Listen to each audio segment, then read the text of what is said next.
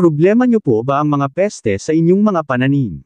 Ngayon ipakilala ko po sa inyo ang pamatay peste sa ating mga pananim.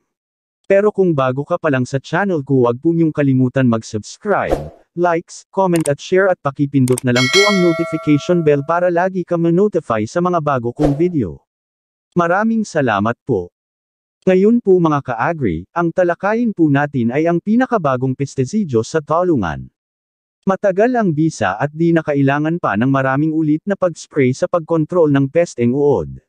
Brofate 20SC, mabisa at long-lasting effect sa pesteng uod.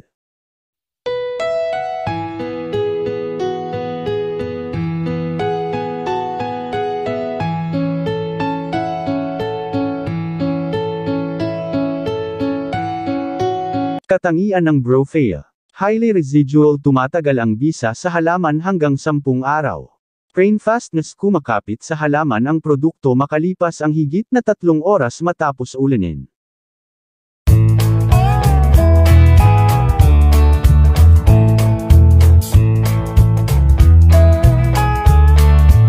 Novel formulation makabagong diskubreng formulasyon na bibilang sa bagong klasifikasyon na MOA 30.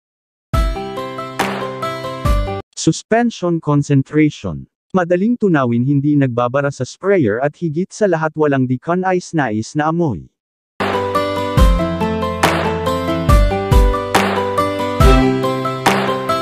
Benepisyo ng Brofrea. Maaring gamitin sa mas maagang gulang ng halaman para sa agarang proteksyon. Ekonomikal at matipid gamitin 5 ml hanggang 10 ml per 16 liters na tubig. Makakatipid sa limit ng pag-spray dalawa hanggang tatlong beses. Mabilis kumapit sa dahon at nananatili ang bisa, ito ay tinatawag na translaminar. Mainam sa resistance management. Rekomendasyon para sa paggamit. Pinakamainam ang pag-spray sa talungan sa maaga o sa panahon para sa takdang temperature sa paligid.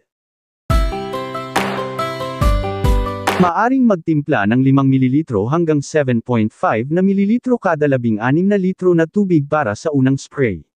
Sa mga panahong mataas ang insidente ng pesteng uod maaring magtimpla ng 10 ml produkto kada 16 na litro na tubig. Siguraduhin na halong mabuti ang pinaghalong produkto at tubig para sa maayos na paglabas ng nozzle ng sprayer.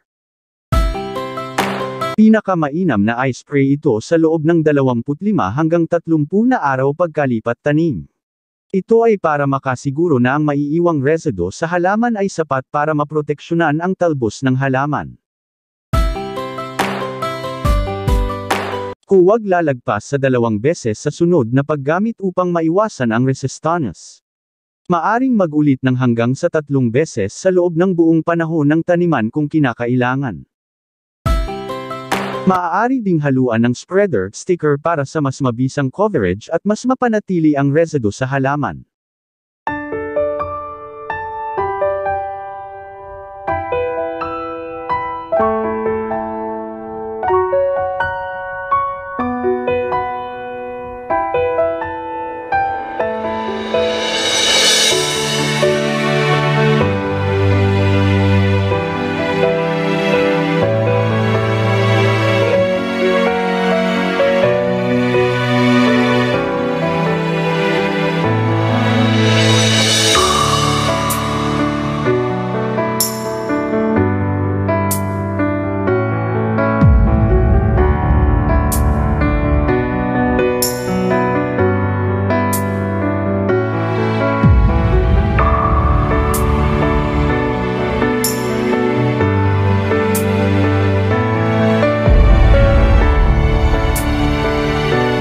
Itong mga sakit or mga pesteng uod ang kadalasan na sakit sa mga tanim nating mga talungan. Ipapakita ko po sa inyo para po familiar na po kayo nito sa mga hindi pa naka-encounter or sana naman hindi po kayo maka-encounter nito.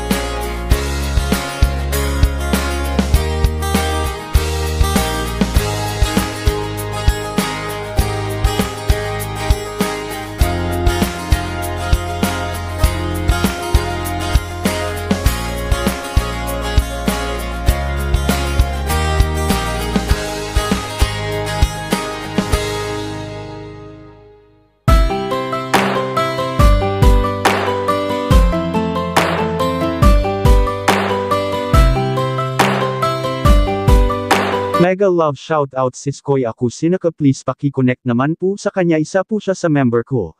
Sir Wilfredo Maronila, Ma'am Janet De La Cruz salamat po sa lahat. Mega love shout po sa lahat ng mga subscribers ko, ka-Agri, YT Sisters, ka-Apos, YT Friends, Team Mangyan, Team Palangga. Salamat po sa lahat ng suporta po nyo. Abangan nyo po anong gamot ang nireklamo ng mga ka-Agri natin. Sa susunod kong vlog talakayin po natin. Salamat po ng marami kita kita kits tayo sa next vlog ko po. Ingat po tayong lahat.